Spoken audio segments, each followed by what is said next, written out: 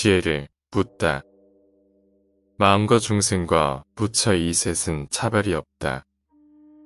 너의 마음이 부처이고 부처가 바로 이 마음이다.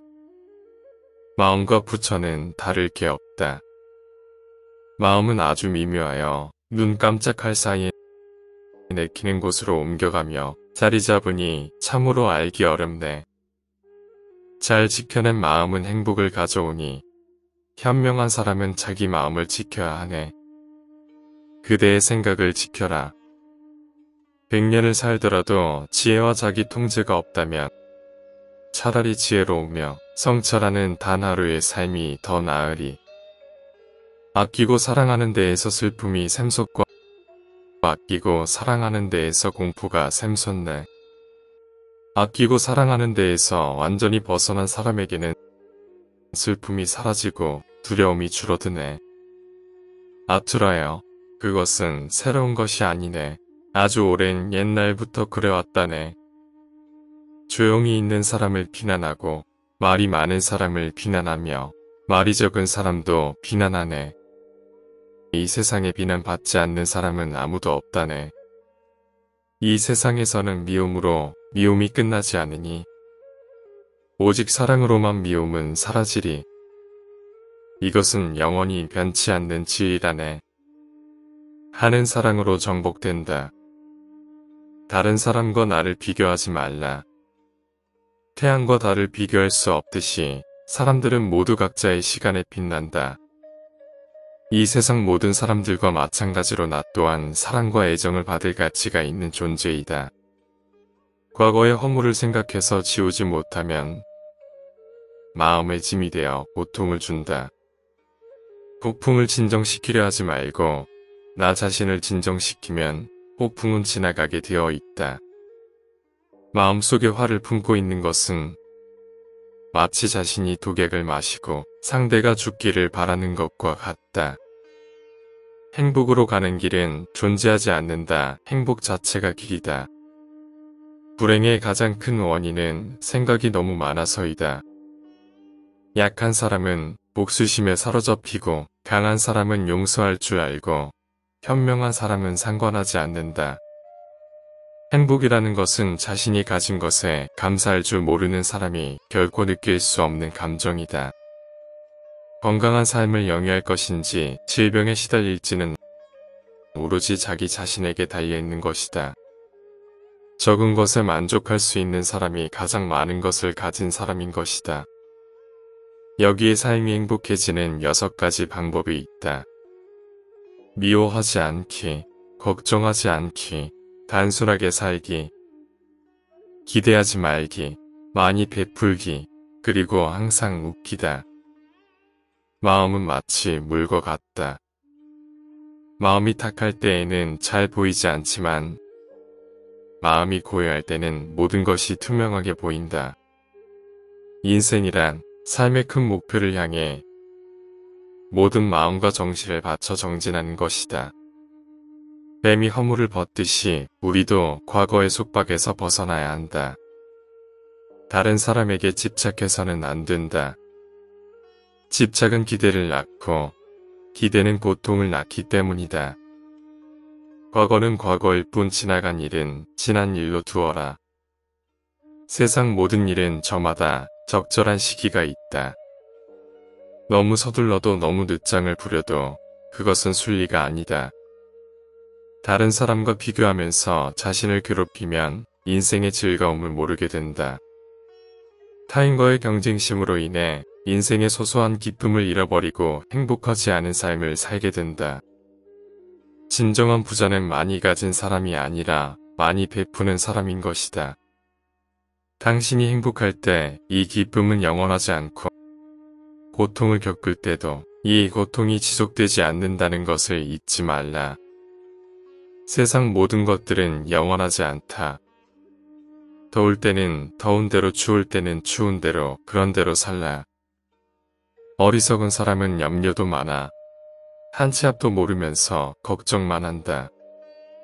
그 몸이 있다. 하지만 그 몸은 오래지 않아 모두 흙으로 돌아가나니 몸 형상은 허물어지고 정신도 사라지거든. 잠시 잠깐 머무는 것을 무엇을 탐하겠는가. 모든 것은 생각에서 비롯된다. 죽는다는 생각을 버리면 괴로움도 끝나리라. 마음은 모든 것의 근본이니 모든 일은 마음에서 생기고 모든 일은 마음의 일이다. 마음속에 착한 생각을 하면 말과 행동도 그러하나니 그로 인해 복락이 저절로 따른다. 마치 몸을 따르는 그림자처럼 항상 얻은 마음으로 살며 말을 삼가하고 마음을 지키면 거기엔 죽음이 없고 어디고 가든지 근심이 없다. 말은 깊이 생각한 후에 말을 하며 말은 항상 거칠지 않아야 한다. 본만을 말하고 이치를 말하되 말한 것은 행하여 진리에 어긋남이 없어야 한다. 게으름은 죽음으로 이끄는 지름길이며 극면함은 삶으로 이끄는 방법이다. 건강은 최고의 선물이며 만족할 줄 아는 것은 최고의 자산이며 믿음은 최고의 인간관계이다. 인간을 사악한 길로 현혹시키는 것은 적이나 원수가 아니라 자신의 마음이다. 한 개의 초로도 수천 개의 초에 불을 켤 수 있지만 그렇다고 해서 그 초의 수명이 짧아지는 건 아니다. 마찬가지로 행복도 나눈다고 해서 줄어들지 않는다. 누구도 우리를 구원하지 못한다. 그 어떠한 누구도 구원할 수 없고 하지도 못한다. 우리는 우리 스스로 구원의 길로 나아가야만 한다. 고통이 너를 붙잡고 있는 것이 아니라 내가 그 고통을 놓지 않고 있는 것이다. 나쁜 마음으로 행동하고 어리석게도 깊은 괴로움에 빠져 잘난 척하고 아나무인이면 좋은 말씀을 어찌 알아듣겠는가. 올바른 마음으로 행동하고 맑고 밝은 이치를 깨달아 시기하거나 미워하지 않으면 좋은 말씀을 빨리 알아들으리니 마음은 만물의 근본이라 모든 일들은 마음에서 비롯되나니 마음속에 나쁜 생각이 일어나면 말과 행동이 마음을 따라가나니 그 때문에 괴로움이 스스로 따른다. 마치 수레가 지나가면 수백 바퀴 자국이 남는 것처럼 마음은 만사의 근본이라 마치 몸을 따르는 그림자처럼 재앙이 없을 것이라 생각하여 작은 아이라도 가벼이 말라. 물방울 하나가 비록 작아도 자꾸 떨어져 큰 병을 채우나니 무릇 이 세상에 가득한 죄도 작은 죄가 쌓여서 모인 것이다. 복이 없을 것이라 생각하여 작은 선생이라도 가벼이 말라. 물방울 하나가 비록 작아도 작고 모여서 큰 그릇 채우나니 무릇 이 세상에 가득한 복도 작은 선이 쌓여 이룬 것이다.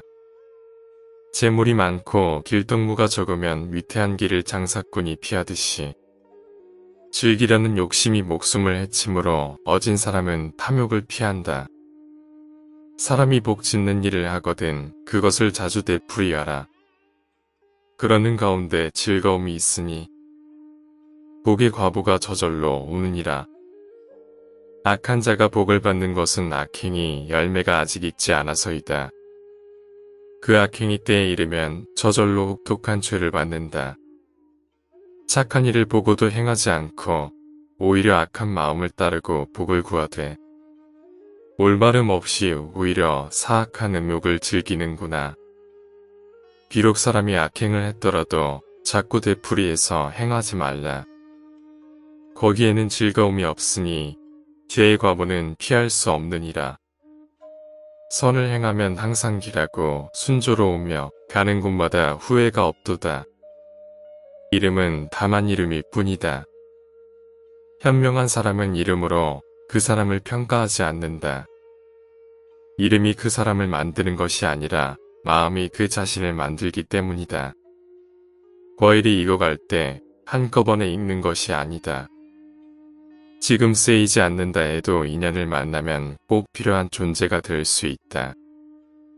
말을 했으면 그에 맞게 행동하라.